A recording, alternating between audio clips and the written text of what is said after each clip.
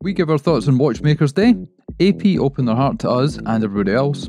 Popeye makes an appearance. Plus, we spy on the watches on the red carpet at the Oscars.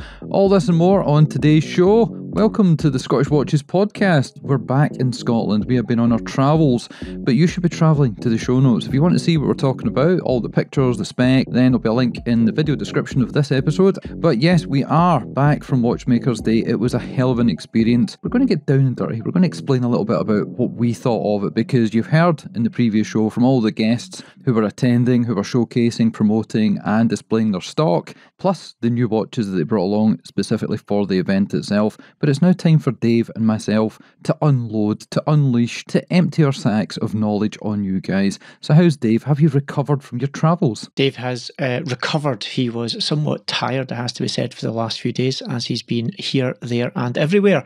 But yes, it was well worth the extremely early start from Switzerland to get to London for that show because it panned out very well. The show was in no other words, excellent. That's the only way I can describe it. But we will give you a little more detail as to why it was excellent and why I'm sure when it happens next time, it will be even more excellent. Well, we're going to tell you about that right now, but we're going to tell you first of all, if you're watching this on YouTube, the chances are you're missing half the story because, as I alluded to, we do two shows a week.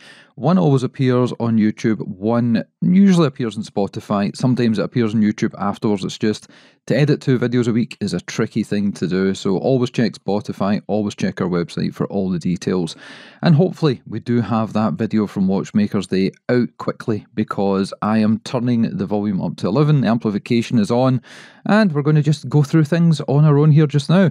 We were both down there it was a tremendous event. We have been to numerous shows across the world, not just within the watch sphere, but motoring, all kinds of stuff. And this one really stuck out. And I think we're going to get down to why it stuck out shortly. For me, I think it was potentially because it was the first of its type, and all these brands that some of which we'd never heard of all congregated in the one place, and they'd never experienced going to a show. They hadn't travelled to the States, they hadn't done Wind Up, they hadn't done Watches and Wonders, they hadn't done Geneva Watch Days. And because they were new, their products were new, and they were super excited and keen to speak to a receptive audience, it just kind of worked. So, Dave, I've got a massive amount of stuff to get through on how we got to the show, what happened there. But you can give us your thoughts on it first. Excellent. No other two ways about it. I have been to many a show, as you mentioned, Ricky, whether it be watches or other things. And out of all the shows I've been to, this one just kind of felt right. And from the moment you stepped through the door, security were friendly. Everyone at the door was friendly. None of this kind of, I'm not sure if you can come in. Real nice, happy, easy going. We got in, and the minute you kind of walked in the room, you just get a nice vibe and feel about the place. It was busy, it was buzzing, it was a bit of noise happening around as folk were talking, but it just felt kind of together. Didn't feel that there was any brands knocking heads, didn't feel that there was any tension in the room, just altogether a really nice vibe. And for me, that kind of set the tone for the whole event. When you walk in and you feel that you're happy and you're comfortable, it just kind of settles everything down. So that's my just super high level overview of it. Really nice venue. Difficult sometimes to get a venue that works. Sometimes they're a bit noisy and echoey. Sometimes they're a bit boring. This was a building that's, I believe, owned by the Royal Horticulture. I can say it right. The Royal Hor- is it horticultural? Horticultural. Horticultural. It should be the Royal Horological Society. It could be the Royal Horological, but it's a hortological. We can change it for next year. We can just bring our own signage and put it out the front. We could I think they might be a bit upset about that because it is a very nice building. Big glass roof, which I wouldn't say it became a problem later, but as it was unseasonably mild and quite a nice day with the sun out in London, that big glass roof did mean that with a lot of people in the building, the temperature began to rise a little, shall we say. You're such a moany bastard because the fact that it had a glass roof meant you could actually see the watches. It wasn't artificial light. Well, if one hadn't butted in, one would have said, but aside from the heat, the light was excellent. It was a really wide, even kind of light in the room, which meant that taking photographs wasn't the usual affair at a watch show of put your bag down, find your lights, get your light panels out, hope the battery's charged, and then try and move it around to get a good photograph. No, you could get some pretty solid photographs just with a half reasonable camera and the good light that we had on the day. Lots of brands there. Everything from a couple of hundred pounds, their retail price points, right up into the stratosphere with the likes of Roger Smith, with a watch that nominally had a price tag of around half a million pounds. But again, no feeling of kind of strangeness going on in that environment. So, yeah, really, really enjoyed it. Um, was that your initial thoughts as well when you got there? Well, I'll run through my busy week because it was a hell of a week last week. Started off, unfortunately, with some funeral planning arrangements that will end at the tail end of this week as we're recording. But then it was Mona's birthday, so we had all the celebrations there. And because she's got family down south in London, she had the great brainwave of let's not fly, let's not train, let's drive. And that was a great idea and also a terrible idea at the same time because on the way back, I fell asleep numerous times in the car, which with her driving is quite a feat. But yeah, we got down there, we drove all night, or she drove all night. I did a little bit of it. Set off at 8 pm from Scotland, took until around about 4 am to actually get to the hotel. And on the way down, my phone was pinging, WhatsApp was going crazy, there was messages and emails coming in from all kinds of people from all across the world Tim, who we met over in Dubai, that's working with Andrew Morgan, he was messaging to say that's us boarded a plane. We're on our way to the UK.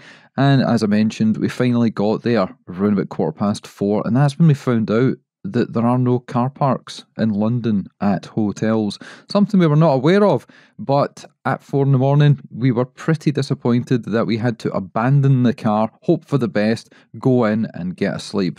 So, skipping most of Thursday because I went on a bit of a watch pilgrimage through London because I've not done that before. I've never done Burlington Arcade, never been to the new Grand Seiko place or the Breitling boutiques. I did so, but we'll talk about that in a future show because it doesn't really have anything to do with Watchmakers Day. I ended up getting picked up at the Hard Rock Cafe after a couple of cocktails by Simona to go and meet and greet her family.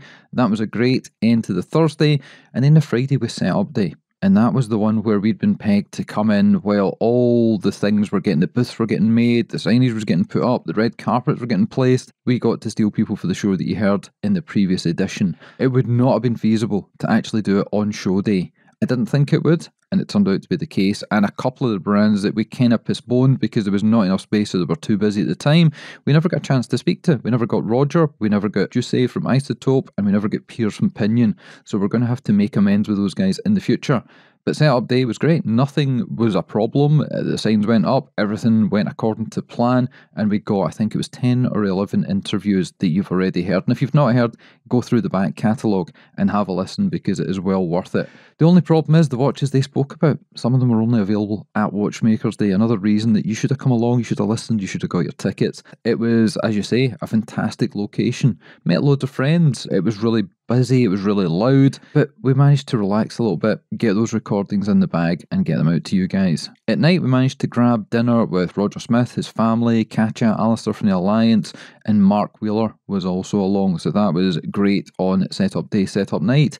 Then the big day itself. Thankfully, the hotel we ended up in was one street away from the venue, which meant we didn't have to Uber and we could cart all our equipment round and set up. We didn't even get a chance to use most of it. We were so busy. People kept walking up to Dave, myself, Simona, Mark Wheeler that was with us, and talked, talked, talked the entirety of the event. I think I managed to film maybe five minutes from start to finish because there was just so many people there wanting to speak to us and it was amazing meeting you guys in real life and putting faces to names. There were some people that i'm pretty sure dave will agree with that we were talking to for five minutes waiting for that key piece of information to drop where we could go i know your instagram handle. I know who i'm talking to. And by the end of it we'd managed to fudge our way through. I think that's pretty accurate. You know, it was actually lovely. Uh, a little bit kind of uh, unease sometimes when folk come up and start professing how much they enjoy the podcast. It's, I guess, not the reason I primarily do it. We do it because it's great fun and we know you guys enjoy listening to it.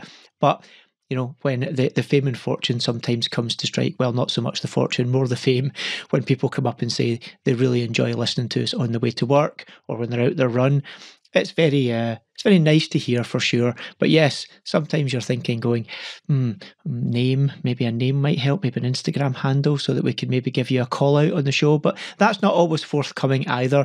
But yes, the request for selfies, uh, why anyone would want a selfie with my ugly mug is unbeknownst. People do need new dartboards. So I hear. But yeah, we met so many people.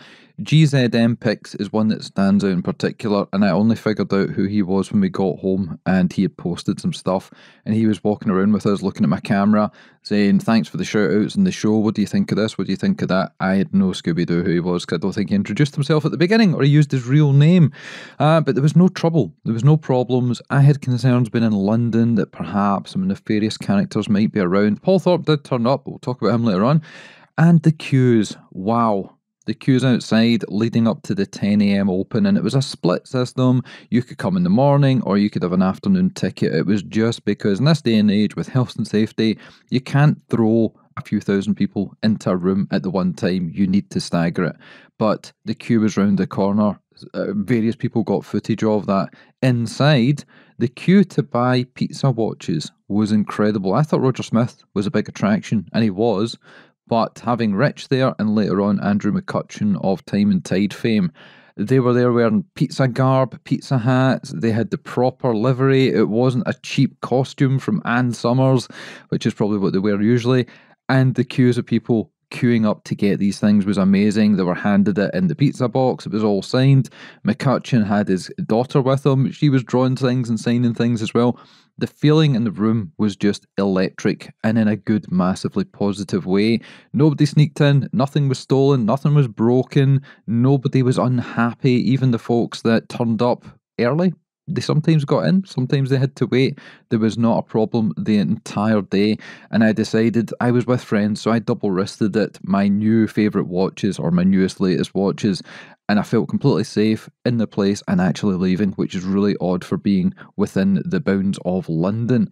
Now, on the day itself, I think I'll let Dave talk for a little bit and then I'll bounce back in with my thoughts because he had his ideas. He was doing a lot of stuff with Red Bar because they had a massive presence there. Kathleen was across from the States, and Dave was talking to all the chapter heads and all the people. So take it away, Dave. So, yes, when the doors opened, there was the mad rush to Studio Underdog. Obviously, a lot of demand for those pizza watches. That said, he had a lot of his regular range with him as well. All the other stands were busy as well, though. So let's say it wasn't just about Studio Underdog. During the entire day, all the stands were busy all the time. I really felt sorry for a lot of the guys where they didn't have many staff. Maybe it was just themselves, the family, the owner. They didn't get chance to have their lunch even because there were so many people there the whole day. And it didn't die off. Most shows I go to, people come in, gets busy for a bit, then suddenly it dies away. Just didn't see any of that from the very start to the very finish. So it was fantastic huge numbers of people, people talking to us, people talking to lots of other people there from YouTube and podcasts, such as Adrian Barker, who was floating around taking pictures. Obviously, Andrew McCutcheon was there, and there was the Watchbox Diaries. Lucy was there as well, amongst many others. I'm trying to think of them all off the top of my head, but likewise, there was so many that you just forget who they were until you suddenly see a picture of them beside you. So, yes, just just a great environment. I, I super enjoyed it. You missed out Andrew Morgan. How could you miss out Andrew Morgan, the man with the talking hands who used to be with another brand but now does his own thing? A couple of things you did mention there. Andrew McCutcheon from Time and Tide. I have known him for maybe four years, I think it was. He first came on the show. And this was the first time talking to him where I don't know if it was the gravity of the event, but he was so normalized. He didn't have the hype, the hyperbole of the showman, and obviously from Australia, and a bit of a Hugh Jackman character himself. I don't know, there was just a grounding to the whole event. I got to chat to him without that veneer and got down a little bit past all that, and there was a lot of similarities. So, yeah, really connected with him and various other people that come up to see us. Uh, you mentioned Studio Underdog and the amount of watches he sold, and doing a quick calculation on the phone there, times £550 equals nearly £4 million worth of sales, which is incredible and blows away a lot of this the talk that's been going around about the British watch industry of recent times bumped into the guys from Accurist. Oliver was there. He'd been on the show before. Spoke to the gentleman at Brooklands. Spoke to the guys at Zero West. Even the guys at Brooklands. They said that loads of folks were coming up saying that they'd never heard of them before the podcast. So again, thank you, listeners, for going and speaking to all these brands and hyping things up a little bit because that's what we're here for. We're here to introduce new brands, new watches. And another brand that have been on the show as well, Bowcroft. Had a fantastic stand there, and those guys were busy the entire time as well. Many of them kind of reaching out and saying that they'd heard about them via the podcast. So we're doing our little to try and push the narrative of British watchmaking amongst many other brands as well. So great to see those guys all in one room. Got to bounce into one of the cops, and they're your friends, so you can tell me which one it was. It was the cop with the Scottish accent that had been on the show a number of times. He's with the Met Flying Squad does all the stuff to do with watch robberies, and yeah, we should be bringing those guys back on sooner or later.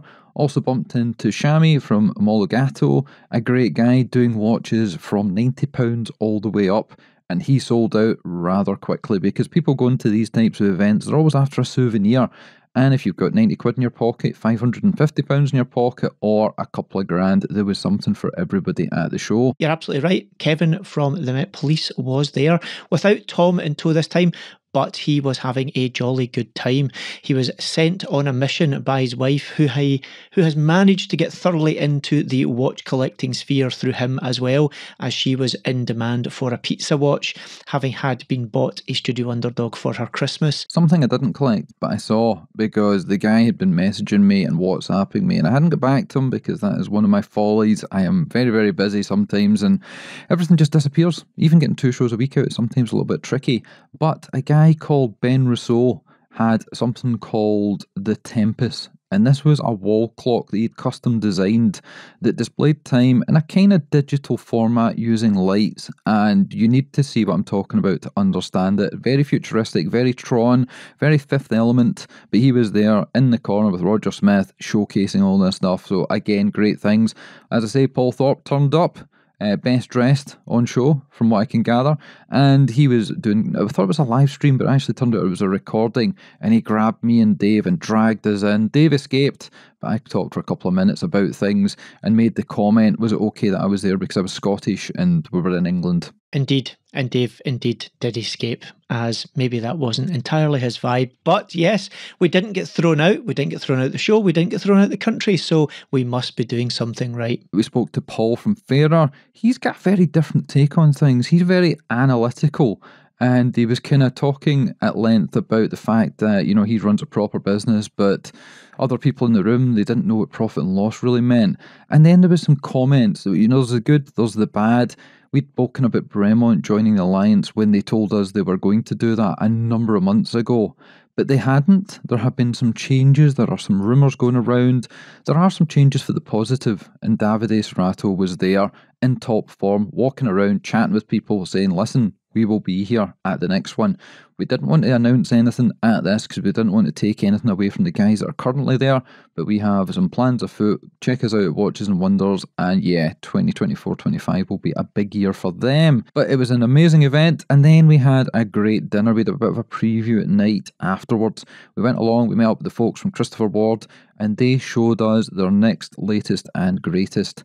And we can't say anything because we are sworn to secrecy, but I think people will like this. And this might be, I said I wasn't going to buy any watches this year. This might be my next watch. Maybe. We'll see. We'll see what happens. But it was great to speak to all our friends, everybody that turned up, the brands, new and old. I can't think of any negative points whatsoever at the show. And all I can say is I can't wait for next year. I don't know if they'll use the same location. I don't know if they're going to do it over two days. I don't know what their plans are. But no matter what it is, all the naysayers, all the people that waited, all the people that didn't, they will next year.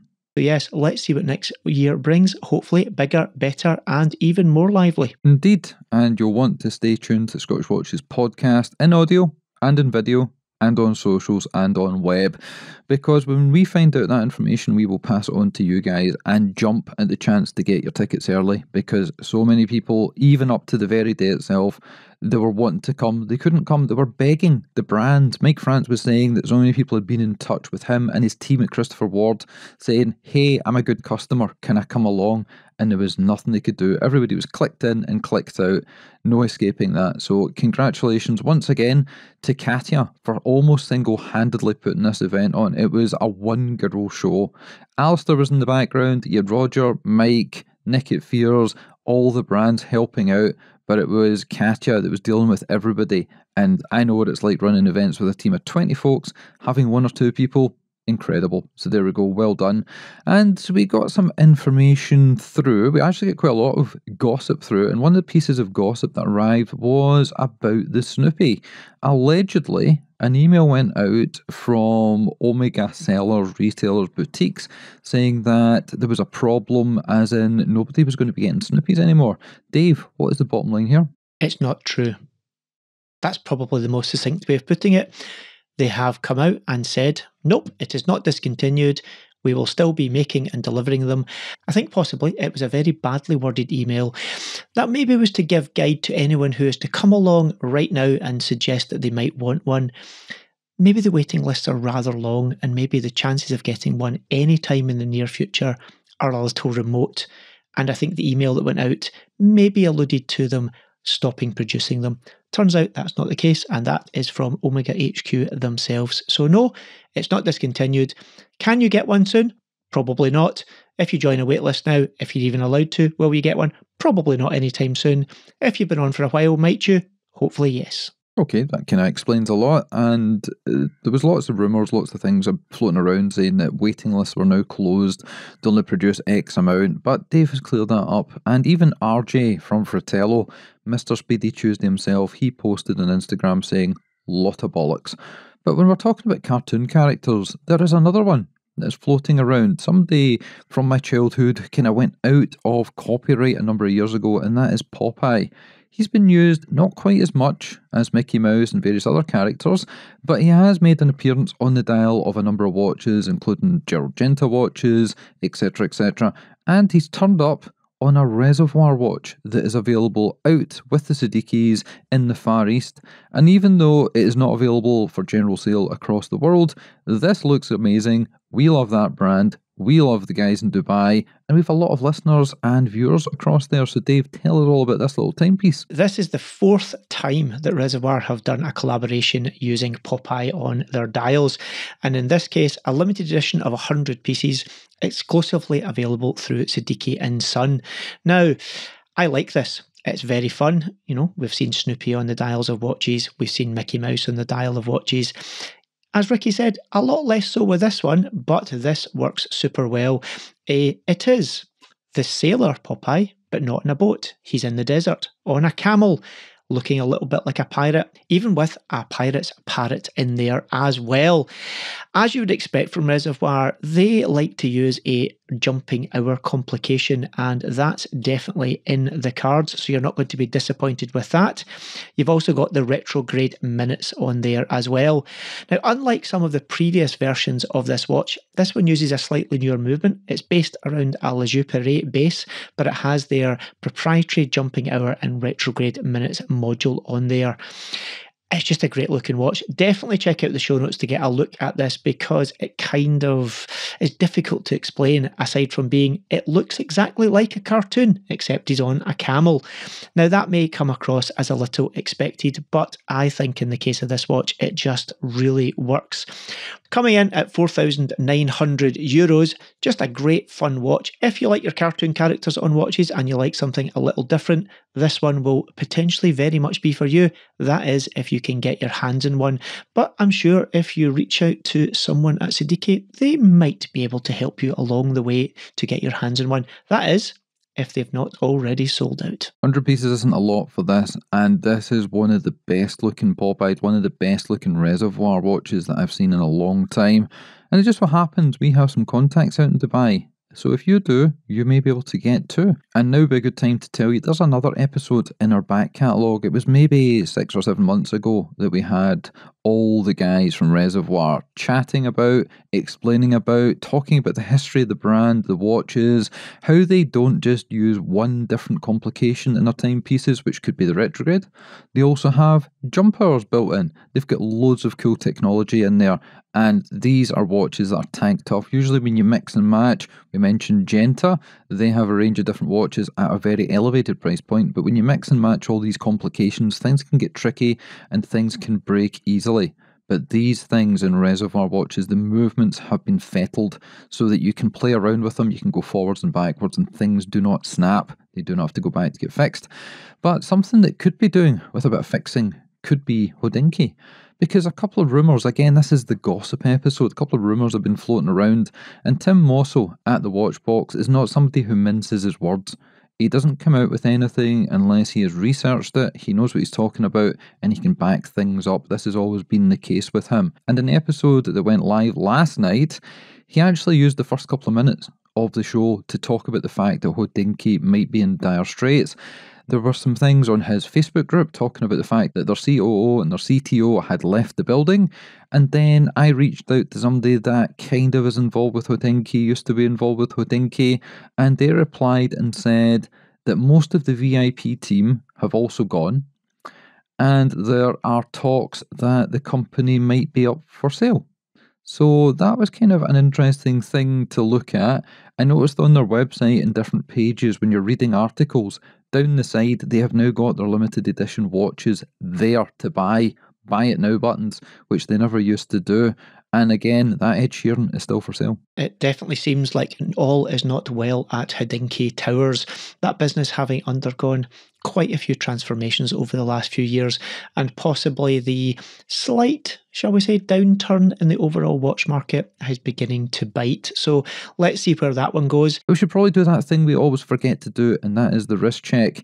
If you've been watching the video, you might have seen there is something on the wrist here that looks a little bit dark coloured, so let me just explain all. And Dave likes to come second, so he's going to this episode. So on the wrist today is a watch that's currently embargoed as we record, but by the time it appears online, and definitely by the time it appears on YouTube, the cat will definitely be out of the bag. So I can talk all about this little grey number and it is a combination. It's not just from one company, but it's a combination of Nodus and Raven watches. This is called the Trail Trekker, and it looks a little bit like perhaps a Bamford Explorer 2 from Rolex.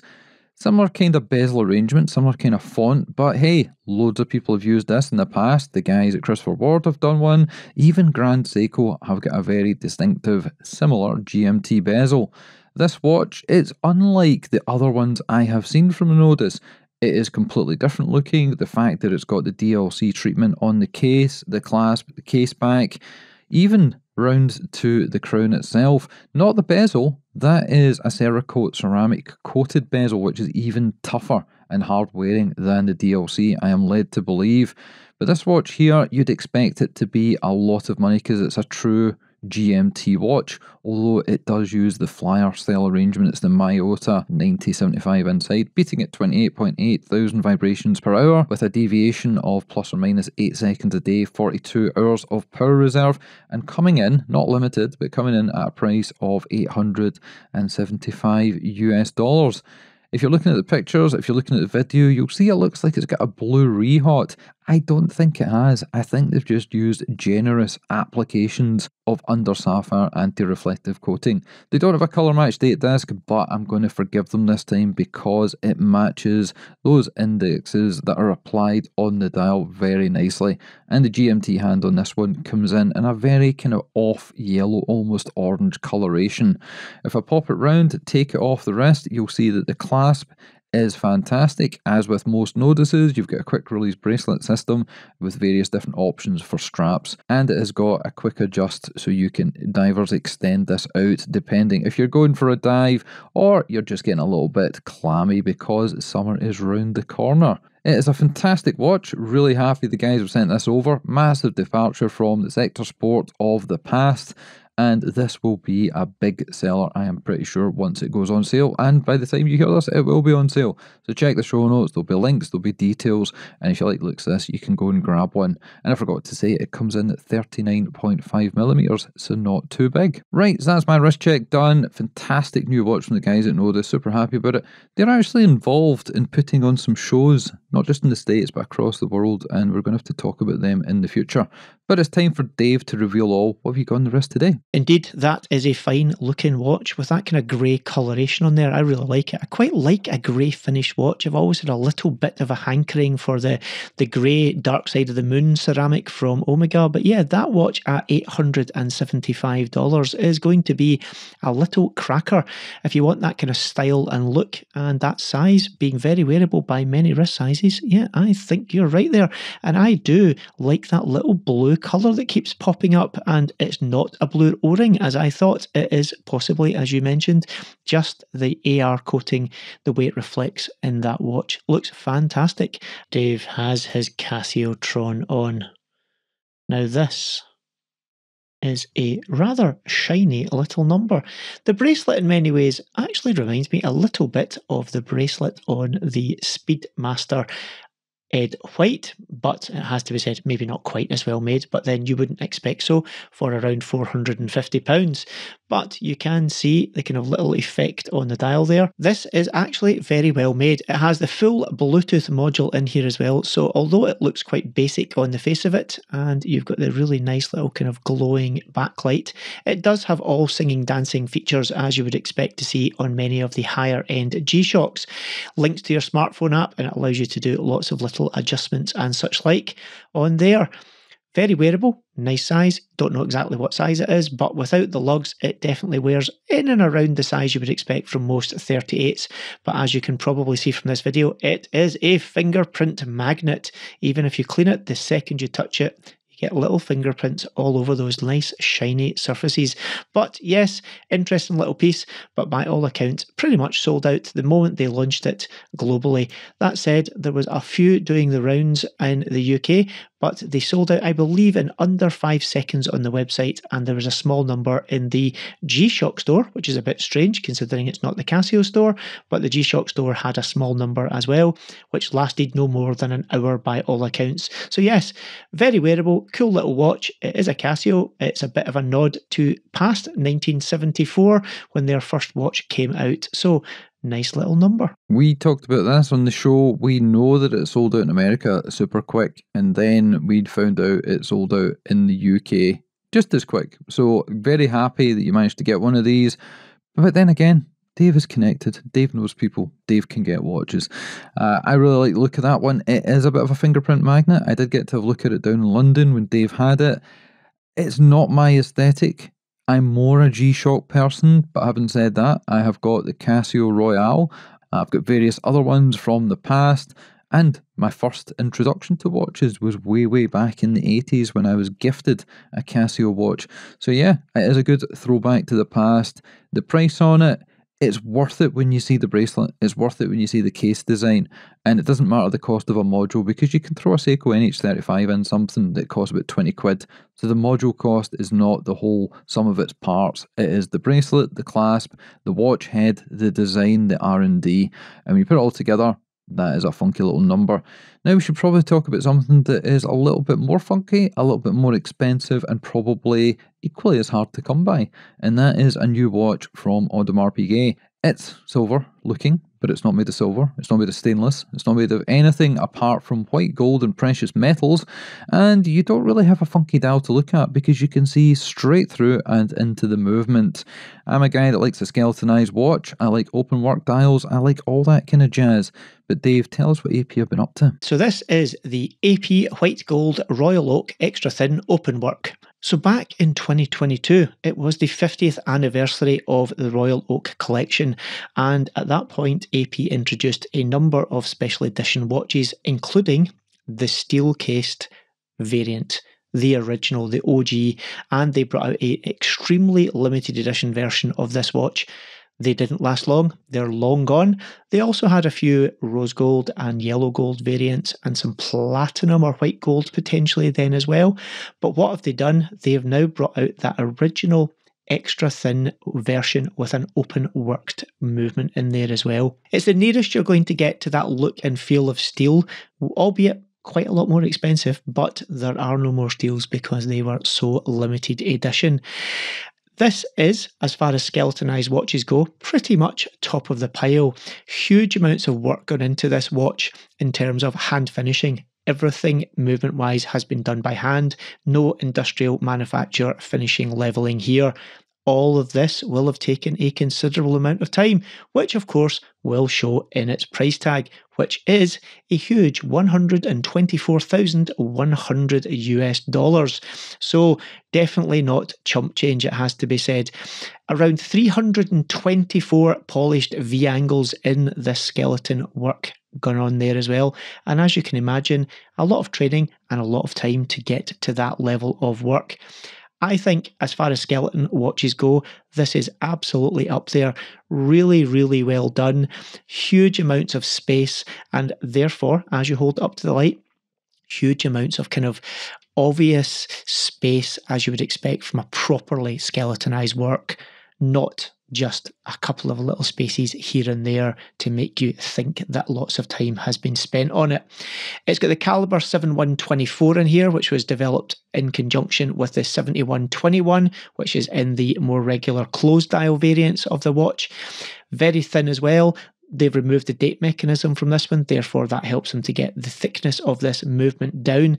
57 hours of power reserve, still not huge, but significantly better than the movements they were using prior to this. I think when we mentioned back in 22 these watches as they were released, we did comment that the old model maybe didn't have the greatest power reserve for its price point. Running at 4 Hz, which is the higher frequency than the old model as well. So, yeah, lots of cool things going on with this watch if you're able to get your hands on it. They are limited production, they're not limited edition. They won't say how many they will or will not make, but I'm going to guess not a whole lot. If you want one, you'll probably have your work cut out to get to it. But if you've got the money and you fancy this, maybe this could be the watch of the skeleton to have on your wrist. When me and Dave were at dinner Saturday night, we were talking about skeleton watches of the stainless steel variety, and there are a number out there. You've got stuff in the past from AP. You have got Oris with the Pro Pilot X that came out four or five years ago nearly. You've got Maurice Lacroix, where you can see through stuff. They've got their own in house movements and they've also got skeletonized other things. Norqain, another great manufacturer where you can see exactly what's going on, even through to Sega design that we've talked about at length on the show. This is a little bit more punchy price wise. It has got the, the brand history, one of the Holy Trinity, but over 120 grand is a lot of chump change.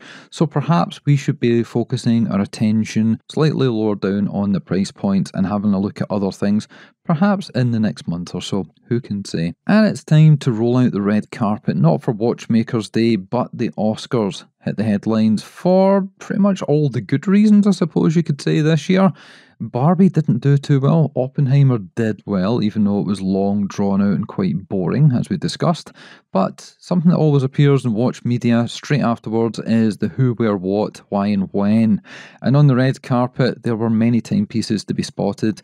And Dave, you have got the rundown, so let's quickly rattle through them. Quickly, off the top of my head, it appeared that a couple of brands definitely had a little bit more wrist presence than others. Omega definitely being one where there were many people wearing their watches.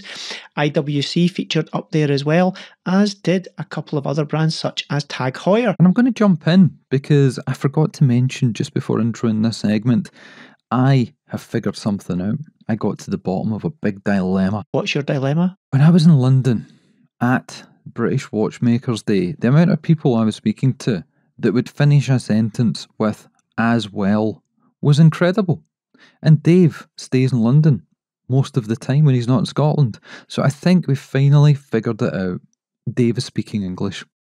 As well, there were also lots of watches from other people, such as Jacob and Co. But giving it a bit of a rundown, one of the headliners, in fact, I think he won Best Actor, that being Cillian Murphy, he was wearing a Omega, that being a 40mm steel DeVille Prestige. Roger Federer, not a film star, but a tennis star, he was there wearing a Rolex, a brand which had a fair amount of presence at the show, albeit maybe not as much as some of the others. He was wearing the Daytona. They stealthily launched a rose gold day date with a funky dial by accident on purpose at there, but you can check show notes for pictures of that one. Carry on, Dave as well. Robert Downey Jr., a man again who won, I believe, his first Oscar after having been nominated quite a few times in the past. He was wearing a JLC Reverso tribute chronograph in pink gold, and a rather nice watch that is as well.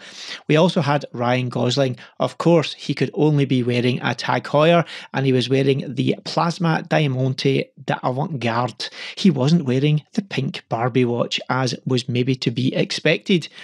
We also had a showing from IWC with quite a few Portugiesers making an appearance. I guess it's a classy event and it's their classier watch, maybe not the place for a pilot's watch. Matthew McConaughey, he did surprise me somewhat, wearing a Jacob & Co. Jean Bugatti. It is a big and pretty uh, expensive watch. I think that would be the best way to describe it. Not maybe the watch I would expected him to wear. Not that I would know which watch he would actually wear. Bradley Cooper was also there. He was wearing a Louis Vuitton tambour, and Chris Hemsworth wearing an Audemars Piguet X Alex Royal Oak chronograph, the ugliest chronograph from Audemars Piguet in the history of chronographs from Audemars Piguet. But hey, it doesn't take it all. He's maybe got the looks, but he hasn't got the wrist. And that takes us to the end of this episode of the show. We're a little bit knackered, in case you can't tell. Both me and Dave made a few follies, a few mistakes in this episode that Miziel will make sure will never appears in the show notes, and I'll make sure never appears in the edit.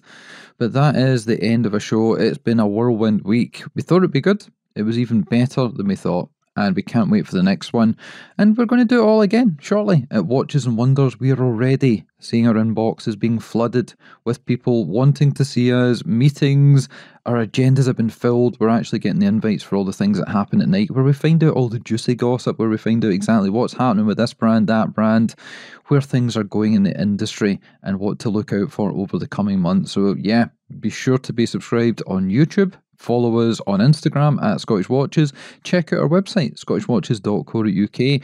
We're actually looking for people to help out because as Watches and Wonders approaches Last year and the year before, Miziel and have had loads of help from people, but this year is going to be even bigger. So if you'd like to lend a hand, if you want to write an article, a preview piece, a review, help out with the Instagram or anything like that, you can join our community team. So drop us an email, info at scottishwatches.co.uk. Don't DM us on Instagram. We don't get to see them or we very rarely get to see them. So don't take offence if we don't get back to you there. And that is it all we can really do is tell you to go through our back catalogue. We've had some great episodes in the recent past. Rick Remaker was on talking about collecting of all types, independence plus Holy Trinity. Uh, from a very early age all the way through to later on in his life. We had William Massena from Massena Labs on talking about collabs and being pretty brutal with his mm, exposes of certain things within the industry.